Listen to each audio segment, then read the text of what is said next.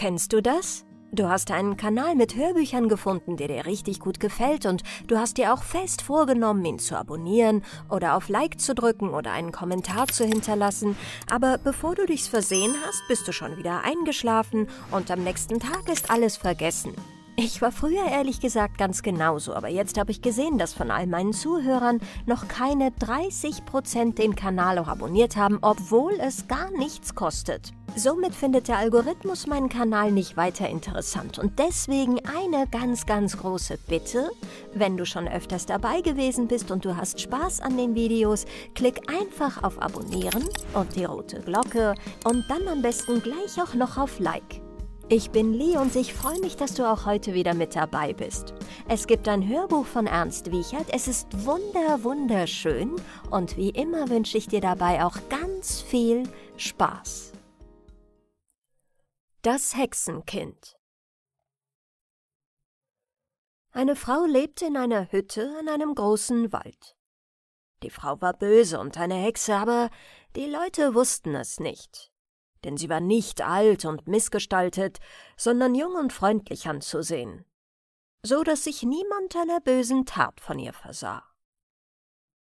Auch war es ihr lange Zeit genug, Hagel herunterzurufen, wenn das Korn in Ehren stand, oder ein Viehsterben herbeizuführen, oder den Kindern einen Kropf anzuwünschen, oder die Bäche austrocknen zu lassen.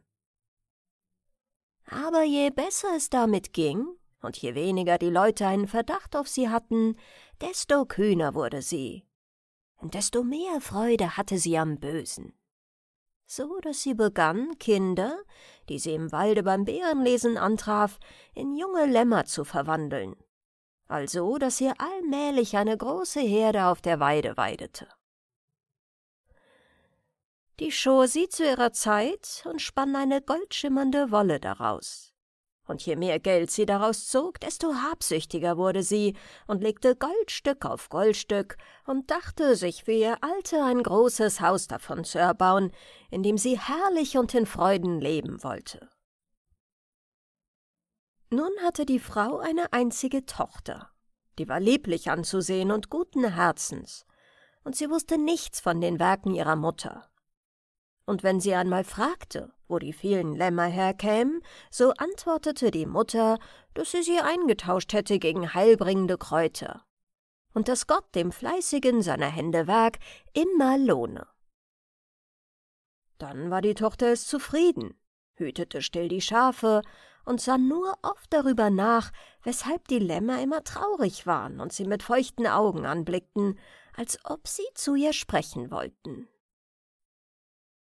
und obwohl sie ihnen die beste Weide suchte und dafür sorgte, dass sie immer zum Trinken an das Bachufer kamen, wenn die Sonne stach, so blieb es doch dabei, dass sie ohne Freude waren. Und so wurde das Kind langsam ebenso traurig und bedrückt. Und es wusste nicht, was es davon halten sollte und wenn es die Mutter fragte, so lachte diese nur und meinte, Schafe seien eben dumm, und wer dumm sei, werde auch traurig, weil er nicht wisse, wie schön diese Erde sei.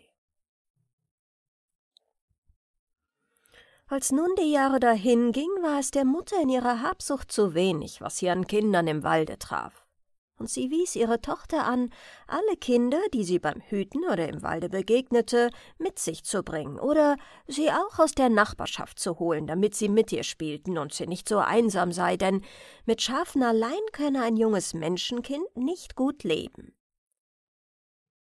Und waren sie dann alle im Hof oder Garten fröhlich beieinander, so fand die Mutter immer etwas, die Tochter für eine Weile fortzuschicken und dann setzte sie den Kindern schnell eine Speise vor, die sie heimlich beredet hatte, und wer nur einen Löffel davon gegessen hatte, verlor alsbald seine Menschengestalt und wurde ein Lamm. Und die Mutter trieb sie schnell zur Herde und sagte, wenn die Tochter zurückkehrte, dass alle Kinder sie grüßen ließen und dass sie sie nach Hause geschickt hätte, damit der Abend sie nicht überrasche. Darüber verwunderte sich die Tochter, und zwar je mehr, desto häufiger es geschah. Und am meisten fiel ihr auf, dass die neuen Lämmer vor ihr flohen, soweit sie konnten, als wäre sie vom Aussatz gezeichnet. Da wurde sie ganz traurig, kam sich wie eine Ausgestoßene vor und zog sich dann auch vom Spielen zurück, wenn fremde Kinder im Garten tanzten. Und als die Mutter sie wieder einmal fortschickte, um etwas zu holen, verbarg sie sich heimlich im Garten und sah den Kindern sehnsüchtig zu, wie sie fröhlich waren miteinander, als ob es kein Leid auf der Welt gebe. Und wie sie so hinter den Beerensträuchern kauerte, sah sie, wie die Mutter eine rötliche Speise in einer großen Schüssel auftrug, die Löffel an die Kinder verteilte und sie fröhlich aufforderte, so viel zu essen, wie jedes Lust hätte. Aber dann stand ihr Herz still, als sie sah, wie nach dem ersten Löffel jedes der lieblichen Kinder sich in ein Lamm verwandelte und wie die Mutter sie mit höhnischen Worten zur Herde trieb und an den Fingern ihren Reichtum abzuzählen begann.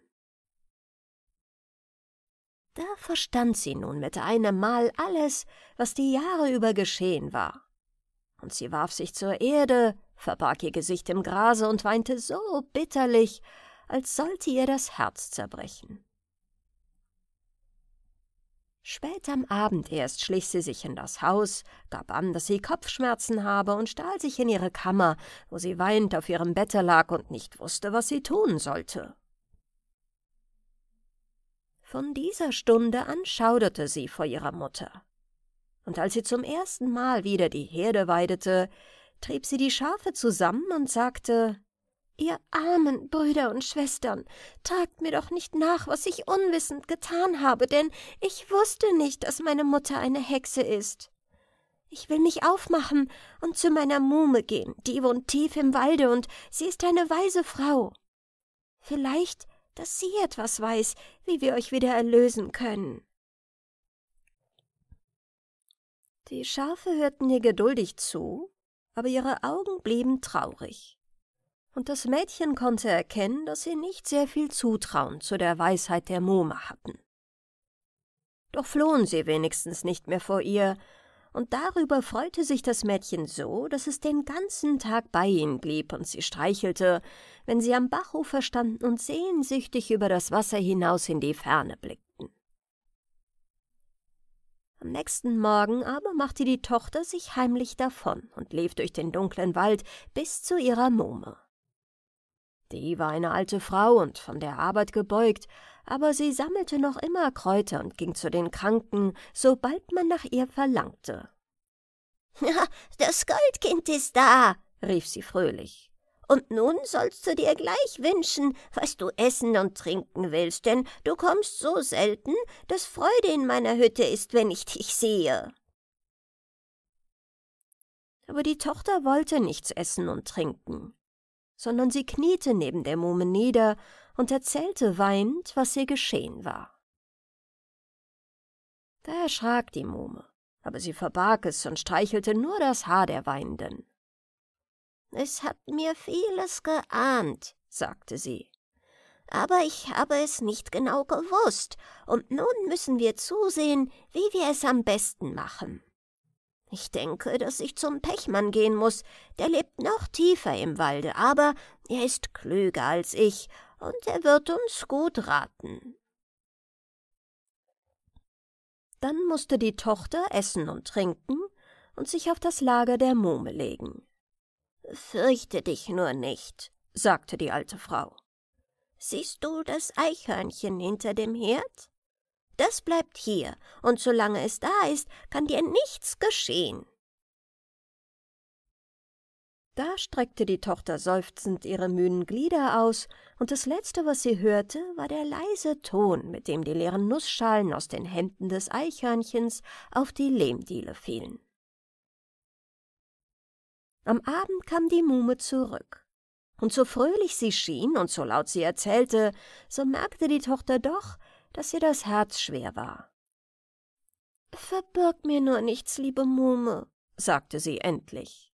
Und wenn es mich das Leben kostet, so will ich die Armen doch erlösen, denn durch meine Schuld sind sie stumm und elend geworden.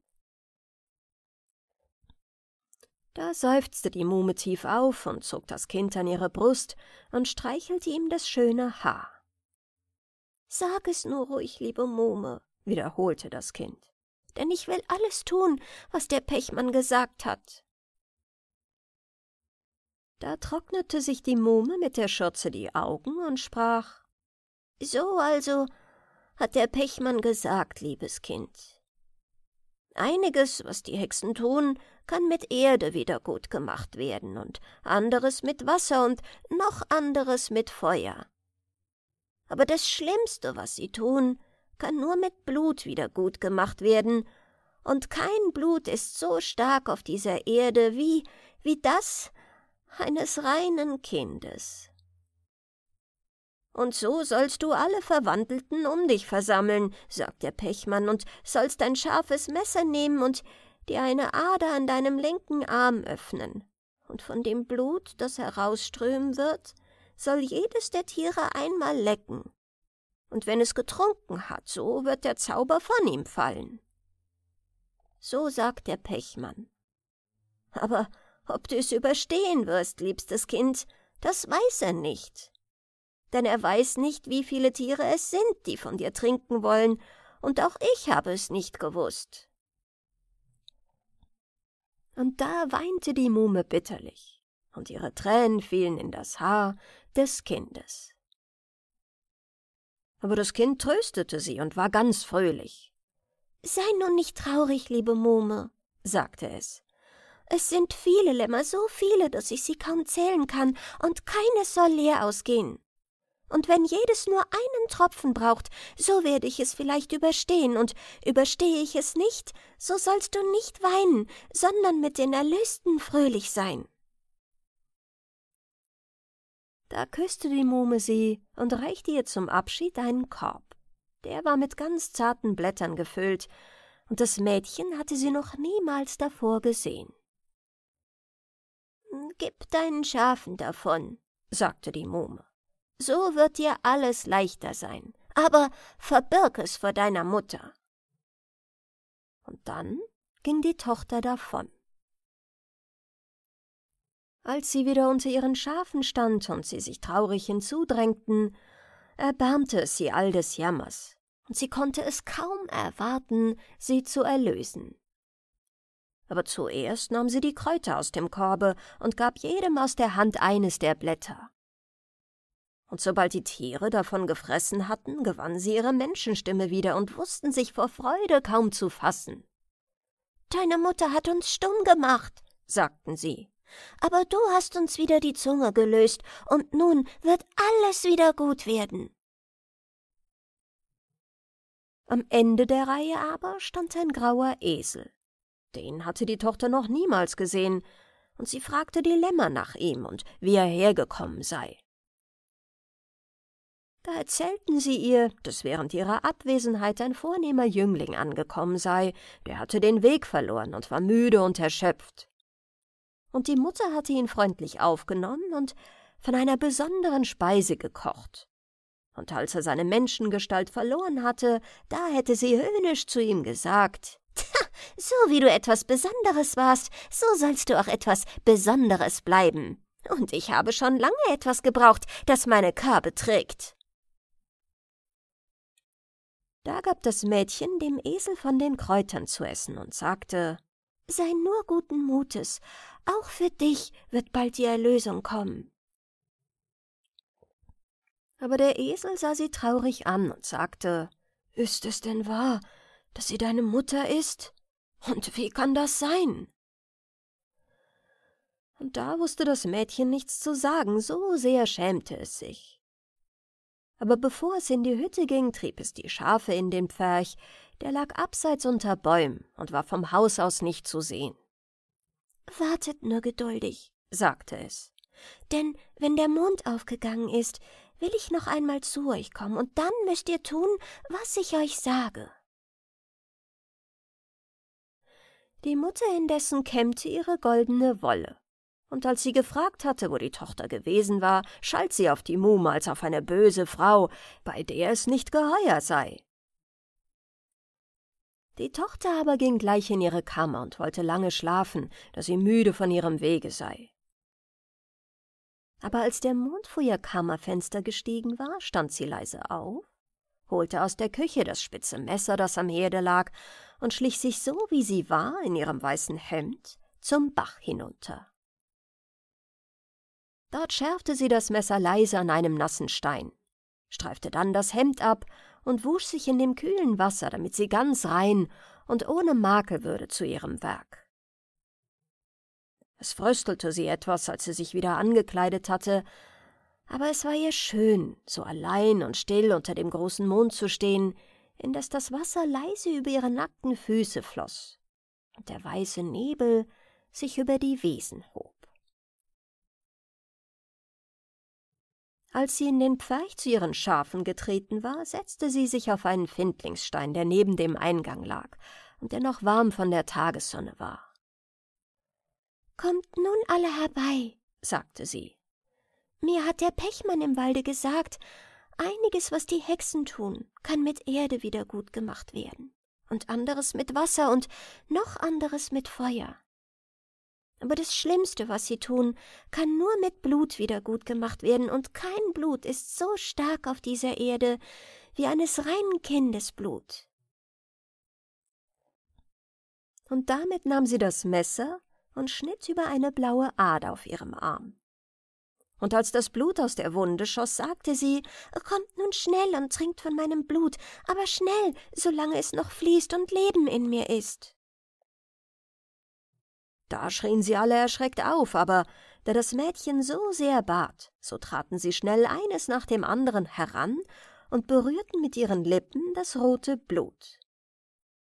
Und wie sie es berührt hatten, fiel die Tiergestalt von ihnen ab, und sie waren, wie sie immer gewesen war. Das Mädchen aber sagte, und ihre Stimme war nun schon schwächer geworden, Trinkt nicht zu viel und Denk daran, dass für alle etwas übrig bleiben muss.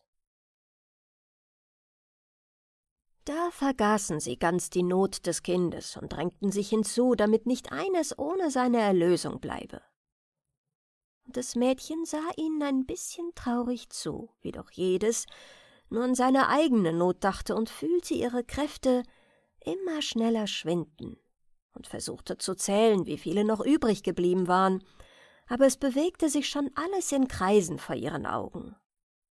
Und sie flüsterte Nur einen Tropfen für jedes, sonst bin ich tot vor der Zeit, und niemand wird euch erlösen. Und als sie alle erlöst waren, blieb nur noch der Esel übrig. Und als er sah, wie weiß und sterbensmatt das Kind war, weigerte er sich von ihrem Blut zu nehmen sondern drückte nur seine feuchten Lippen auf die Wunde und presste die Ränder so lange zusammen, bis das Blut gestillt war. Ach, lieber Esel, sagte das Kind, nun muss ich doch traurig bleiben, weil du nicht erlöst worden bist. Aber er sah sie freundlich an und sagte Meinst du denn, ich würde dein Leben nehmen, nur um das meinige zu retten, wie alle diese hier? Da schämten sich die Kinder, dass sie nur an sich gedacht hatten. Aber das Mädchen hieß sie schnell nach ihren Hütten laufen, bevor die Mutter erwache und ihnen vielleicht ein neues Leid zufüge. Und sie bedankten sich tausendmal und baten das Mädchen, bald in den Wald zu kommen, damit sie ihm alles Gute zu essen bringen könnten und es sich bald wieder erhole. Und dann schoben sie das Tor des Pferches zur Seite und liefen quer über die Heide zum dunklen Wald. Und noch lange waren ihre Stimmen in der stillen Nachtluft zu hören. Der Esel aber bettete das Mädchen sorgsam in das Stroh der Hürde, ging für eine Weile fort und kam mit einem Kraut zwischen den Lippen wieder.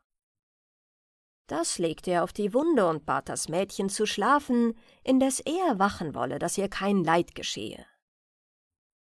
Möchtest du denn nicht fort mit den anderen?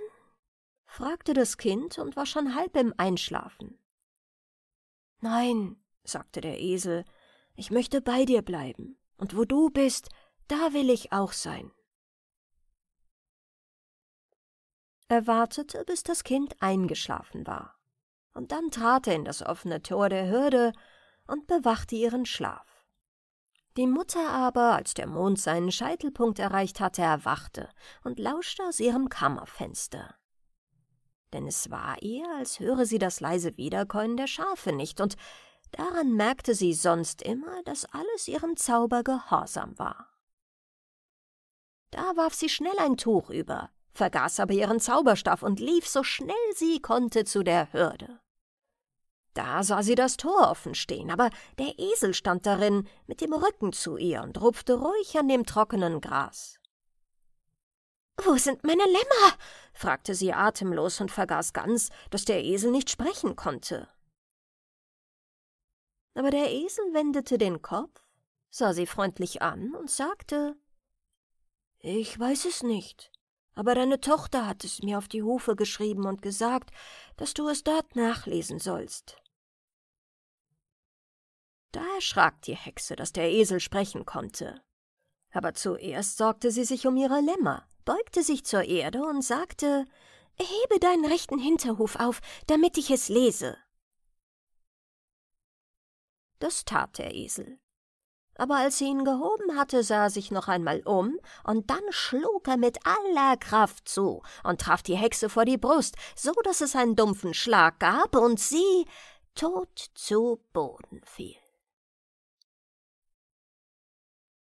Da lauschte er eine Weile, ob das Mädchen noch schlief. Und da er die ruhigen Atemzüge vernahm, ergriff er die Hexe mit seinen Zähnen an ihrem Tuch und trug sie leise ans Wasser. Und als er sie in den Bach hineingeschoben hatte, sah er viele Fische, die glänzten im Mondlicht wie Silber, und es waren viele tausend. Und sie zogen die Hexe in die dunkle Tiefe hinab und nichts war mehr von ihr zu sehen als das Tuch. Das schwamm auf den kleinen Wellen abwärts immer weiter und weiter und war schließlich in der Ferne anzusehen wie ein umgestürztes Boot, das zum Meere trieb.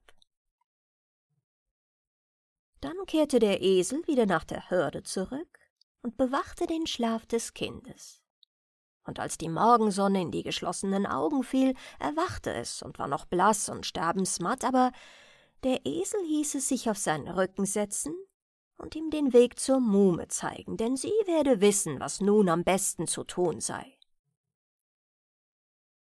So zogen sie dann durch den hellen Morgen. Und als die Vögel in den Zweigen sangen und die Tautropfen in allen Farben schimmerten, legte das Kind die Hände auf den Hals des Esels und sagte ich fühle schon, wie das Blut mir aufs neue zurückkehrt.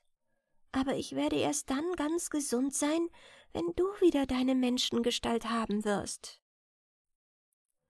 Da schüttelte der Esel seinen Kopf und erwiderte Sorge dich nicht, alle Gestalt vergeht, und wenn du lächelst, dann kann auch ein armer Esel froh sein.